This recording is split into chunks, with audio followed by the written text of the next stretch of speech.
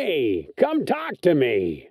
I've got no body to hang out with. Who wants me to copy what you say? From your words to my mouth.